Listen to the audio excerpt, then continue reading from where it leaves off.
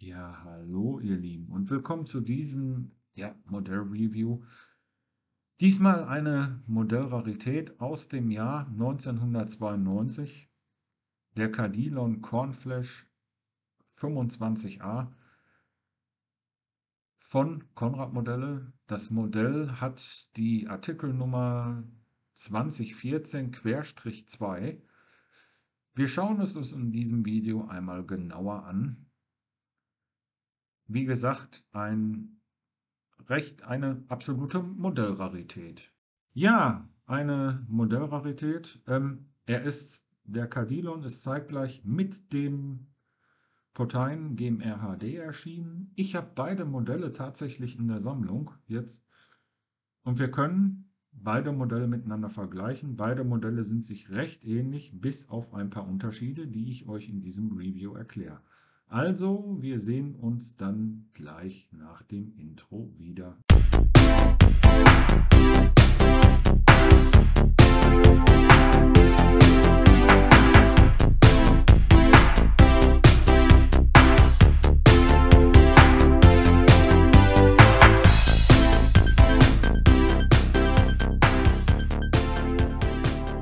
Ja, Servus ihr Lieben und willkommen zu diesem Modell-Review wieder. Ja, heute mal ein Modell in 1 zu 50 und zwar eine Modellrarität wieder. Gibt es leider nicht mehr so oft oder gibt es fast gar nicht mehr im Internet zu kaufen. Das Modell stammt aus den 90ern, ne, ist zeitgleich erschienen mit dem Portein GMR HD, den ich euch ja auch noch vorgestellt habe schon und ähm, den ich auch hier unten stehen habe da können wir, können wir Vergleiche ziehen, so ein bisschen. Ja, schauen wir uns einmal den Cadillon Cornflash 25a an. Ja, und das ist das gute Stück, Freunde. Ähm, wie gesagt, sehr, sehr einfach gehalten. Ne? Wir schauen uns das Ganze natürlich noch genauer an. Ne? Wie gesagt, ähm, hier gibt es einige Unterschiede an diesem Kranmodell. Ne? Es fällt sofort auf, die Auslegerabspannung ist eine andere hier bei ihm. Liegt daran, dass der Ausleger bei einem Cardillon Cornflash äh, kein, kein Hydra keine hydraulische Ausklappung hat, oder keine hydraulische Entfaltung hat, ne, wie äh, der Portein sondern da wird alles über Seile geregelt. Ne? Über Seilzüge sozusagen. Ja. Fangen wir aber mal genauer gesagt erstmal unten an. Wie gesagt, es ist nicht viel dargestellt. Er ist recht einfach.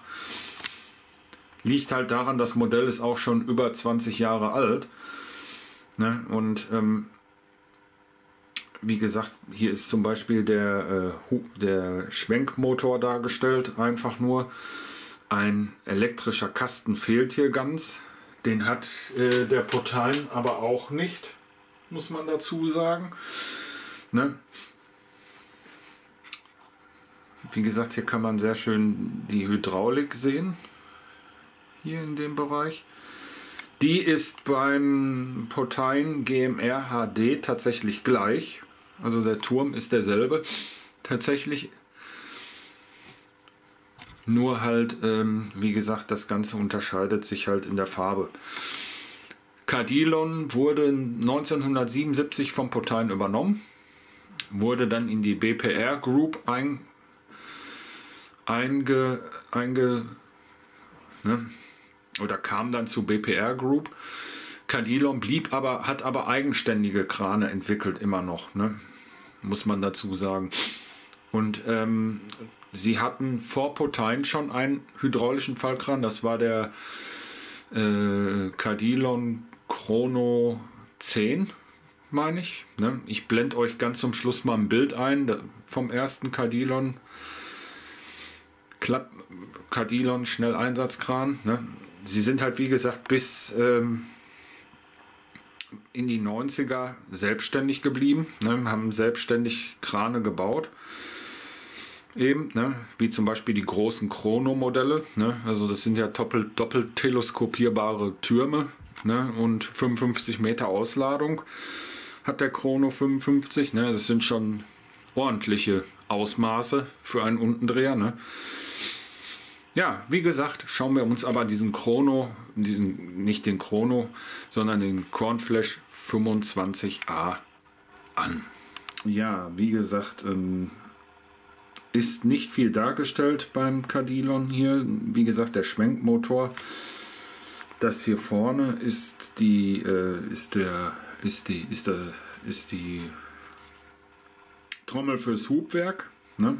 Die Salttrommel fürs Hubwerk. Ne, die Gewichte sind, die Gegengewichte sind sehr, sehr einfach dargestellt. Sie sind kleiner wie beim Portein tatsächlich. Ne? Hier könnt ihr sehr schön die Hydraulik von dem Kran sehen. Die ist tatsächlich gleich wie beim Liebherr ne? oder wie beim, wie beim Portein GMR HD. Ne? Und wie gesagt, hier die, der Ausleger. Ja, bis hierhin ungefähr sind, ist der Potain und der Cardillon eben baugleich. Auslegertechnisch ist der Cardillon allerdings anders wie der Potain. Das zeige ich euch aber auch gleich nochmal.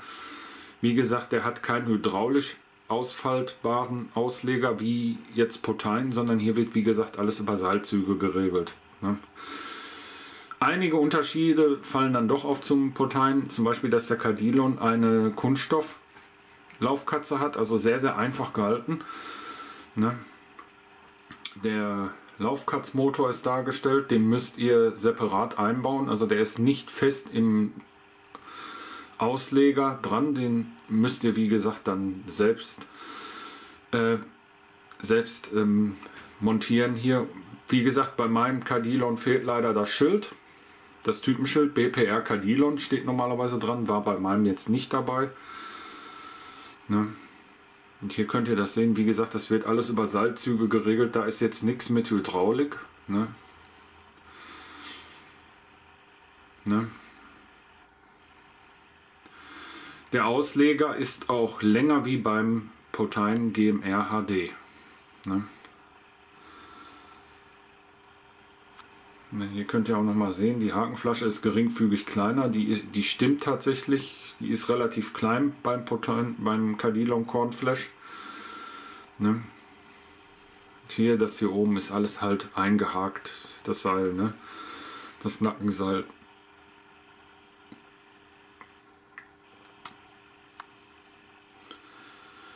Und wie gesagt, ansonsten der Turm ist soweit baugleich mit dem Portal. Ja, so schaut das Ganze dann von der anderen Seite aus. Ähm, da könnt ihr den Hubwerksmotor hier sehen. Ähm, ansonsten ist nicht viel dargestellt bei dem Kran. Ne? Er ist sehr, sehr einfach gehalten. Das sind die Abstützungen wenn der, für den Turm. Ne? Da könnt ihr die äh, Hydraulik halt sehen. Ne? Und wie gesagt, so schaut der Kran halt von der anderen Seite dann aus. Ne? Wie gesagt, er hat einen längeren Ausleger wie der Portein. Ne?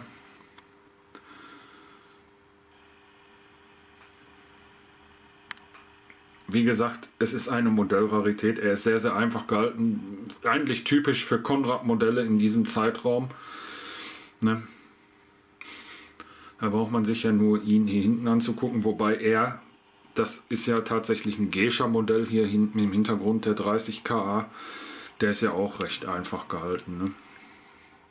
Da ist allerdings der Elektrokasten noch dargestellt. Bei ihm hier ist der Elektrokasten nicht dargestellt, ne? was ich eigentlich schade finde. Ne? Aber wie gesagt, der Hubwerk, Hub, Hubwerksmotor und der Schwenkmotor, die sind wenigstens dargestellt. Ne? Was auch bei Cadillon typisch ist, man sieht die Cornflashs auch mal mit äh, so, so rötlichem Beton- oder Kontergewichten. Hat er jetzt hier nicht, Gott sei Dank. Gefällt mir auch nicht so sonderlich. Ja, schauen wir uns mal den Vergleich zum Potein GMR HD einmal an. So, das, jetzt haben wir mal den Potein daneben, den Potein GMR. Da fällt dann natürlich schon auf, dass äh, die Gegengewichte höher sind. Ne? Wie gesagt, ansonsten sind die Unterwagen gleich. Ne? Aber auch hier sind eben der Schwenkmotor und der Hubwerksmotor dargestellt beim Portein. Ansonsten äh, unterscheiden die sich nicht viel. Ne? Allerdings vom Ausleger her schon. Im Übrigen zum Thema Hakenflasche. Der Cadillon hat tatsächlich eine kleinere Hakenflasche. Also die Hakenflaschen beider Modelle, die stimmen sehr, sind sehr, sehr detailgenau. Einziger Unterschied beim Cadillon ist halt die Laufkatze aufs Kunststoff, beim Protein ist sie aus Metall. Ne? Und wie gesagt, beim Cadillon die Auslegerentfaltung oder die Auslegerausfaltung, ähm, die erfolgt beim Cadillon über Seilzüge eben.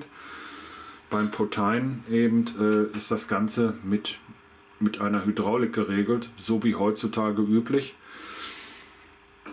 Ne? Aber wie gesagt, der Cadillon hat auch etwas mehr Ausladung wie der GMR HD. Ne? Portein HD ist die Vorgängerbaureihe der oder die Vorgänger, Vorläufer der heutigen Igo-Baureihe von Portein. Ne? Wie gesagt, sie sehen sich beide gleich eben. Ne? Äh, wobei man sagen muss, dass äh, Cadillon zu jener Zeit, BPR Cadillon, war noch selbstständig. Cadillon hat, äh, ich weiß nicht wie lange, noch selbstständig Krane gebaut. Ne? Obwohl sie schon 1977 vom Portein übernommen wurden. Ne? Haben sie noch sehr, sehr lange äh, Krane, eigenständige Krane gebaut. Ne? Und äh, Cadillon war auch, hatte auch vor Portein schon ein äh, Schnellmontagekran, also so ein Faltkran eben. Ne? Muss man auch dazu sagen. Ansonsten, die Modelle sind wie, wie gesagt beide im selben Zeitraum erschienen. Ne? Sind heute nicht oder fast nicht mehr zu kriegen. Der Potein ab und an mal ja, der Cadillon so gut wie gar nicht mehr. Ne? Sind beides Modellraritäten. Ne? muss man dazu sagen, aber auch beides sehr, sehr einfach gehaltene Modelle. Wie gesagt, beim Portein, äh, da ist es genau das gleiche wie beim, wie beim Cadillon. Äh, da habt ihr eben hier oben nur ähm, die, den Laufkatzmotor. Ne? Den müsst ihr auch beim Portein selber montieren. Ne? Genau dasselbe wie beim Cadillon. Der ist lose mit in einer Tüte, den steckt ihr hier oben einfach ein. Ne? Wie gesagt, beide Modelle sind sehr, sehr einfach gehalten. Sowohl vom Unterwagen als auch vom Ausleger. Also Detailgrad ist da nicht sehr viel. War aber auch, man muss sich das so vorstellen, das sind 20 Jahre alte Konrad-Modelle. Ne? Damals waren die noch nicht so detailreich wie heute. Ne? Ne? Wie gesagt, machen wir hier nochmal einen kleinen Cut und kommen dann Schluss und letztendlich nochmal zum Fazit. So, Bevor wir zum Fazit kommen, äh, habe ich jetzt nochmal den Potan Ego daneben gestellt. Der ist natürlich etwas detailreicher, muss man sagen. Der hat auch den Laufkatzmotor hier unten. Wie gesagt, der Ego hat hier unten den Laufkatzmotor und das Hubwerk ist hinten. Hinter diesen Elektrokästen. Ne? Und der ist natürlich wesentlich detailreicher. Der ist ja auch nicht von Konrad. Ne? Also das könnt ihr hier aufklappen, ne? diesen Kasten. Ne? Wie gesagt, der ist wesentlich detailreicher, der Potain Ego. Ähm, Nichtsdestotrotz gibt es ihn auch, kriegt man ihn heute auch nicht mehr zu kaufen bei eBay oder bei sonstigen Modellhändlern, weil der wird auch nicht mehr produziert von NZG TWH. Genau wie der große Potain, der, der Potein MDT. Ne? Ähm, ab und an kriegt man den Potein Ego doch noch in Gelb zu kaufen, also mit gelber Lackierung. Hier in dieser roten Lackierung ist er ja limitiert gewesen tatsächlich. Wusste ich auch nicht, ne, dass der limitiert war in der roten Lackierung hier. Äh, Nichtsdestotrotz, es sind drei Modellkrane, die, wo man halt, wo man halt sagt, da kommst du nicht mehr dran. Ne? Die kriegst du nicht einfach nicht mehr zu kaufen und sie werden immer teurer. Ne? Wie gesagt, das sind so die drei Falkkrane. Wie gesagt, der in der Mitte, der GMR HD, ist die, das ist halt die Vorgängerbaureihe vom Igo, ne? wenn man es so nehmen will. Jo, drei wunderschöne Faltkran-Modelle. Ne? Das interessanteste Modell ist definitiv der Cadillon, weil äh, er hat eben keine hydraulische Aus Auslegerausfaltung, sondern hier wird wie gesagt alles über Seilzüge geregelt. Ne? Und wie gesagt, Potein, GMR HD und der Cadillon, die sind beide zeitgleich entstanden. Der Portine Ego, meine ich 2010, 2012, so in der Größenordnung. Ist aber leider auch nicht mehr zu bekommen wie die beiden. Ne?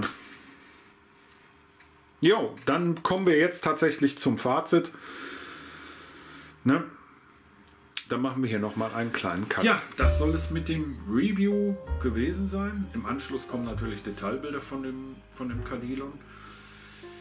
Ja, kleines Fazit ähm, zu dem Ganzen. Sie werden nicht mehr, Freunde. Und wenn ihr solche Krane, gerade Igo, GMR HD oder auch den Cadillon Cornflash im Internet habt, kauft ihn euch. Sie kosten so um die 200 Euro inzwischen. Also ich kann mich daran erinnern noch, äh, als ich etwas jünger war, habe ich diese Krane schon bei einem Modellherst Modell, also bei einem Modellhändler gesehen. Da haben sie so um die 115, 120 Mark gekostet, D-Mark noch. Ne? Weil das sind ja Modelle, die kommen aus den 90ern. Heutzutage haben sie ihren Wert verdoppelt. Ne? Und sie werden nicht mehr hergestellt, sie werden immer weniger im Internet, definitiv. Also diese drei Modelle, die da hinten stehen, genauso wie er hier, die, find, die kriegt man nicht einfach nicht mehr. Die kriegt ihr einfach nicht mehr, nur noch ganz, ganz, ganz selten werden sie mal im Internet angeboten. Ne? Sie werden weniger, immer weniger und sie werden immer teurer. Ich habe für den GMR HD jetzt 260, noch nicht mal 200, 160 Euro habe ich bezahlt dafür. Also preislich der GMR HD und der Cadillon lagen beide bei 160 Euro. Ähm, der Igo, der lag auch, den Potein Igo in Roh, Igo 21 heißt er ja. Ähm, der hat mich damals 128 Euro gekostet, den habe ich neu gekauft. Heutzutage, ja, sie werden einfach nicht günstiger, sie werden immer teurer. Ne? Und Tendenz bei den dreien ist auch nach oben. Es sind Wertanlagen. Ich habe hier, er hier kostet inzwischen, wenn er original verpackt ist und noch nie die Originalverpackung verlassen hat, liegt er hier bei ja, knapp 1000 Euro inzwischen. Ne? Kann man so rechnen. Ne? 800 Euro mindestens. Wenn ihr mal überlegt, ihr habt, wenn ihr bei eBay reinguckt, da war ein Liebherr 630 EC-H in der Liebherr Werksfarbe, wohlgemerkt, ne? also so wie ich nur oben bei mir im Modellzimmer stehen habe, der ist für 5000 Euro weggegangen. Ne?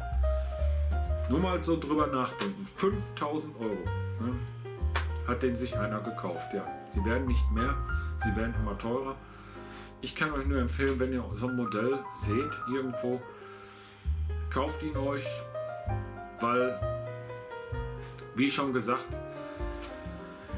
äh, sie werden nicht mehr, sie werden nicht neuer. Neu bekommt ihr diese Modelle gar nicht mehr. Ne? Also wenn dann gebraucht, im sehr, sehr guten Zustand. kann ich euch nur empfehlen. Ne? Aber auch da recherchiert im Internet, guckt, ne? weil es gibt doch welche, die sich dann an euch bereichern wollen. Ne? Und ja, so viel dazu. Jetzt zum Abschluss, wie gesagt, Detailbilder. Und ich wünsche euch was sehr, sehr Schönes. Ich hoffe, das Modellreview hat euch soweit gefallen. Gebt den ganzen Daumen nach oben. Ich würde mich freuen. Macht es gut. Bis dahin und Salut.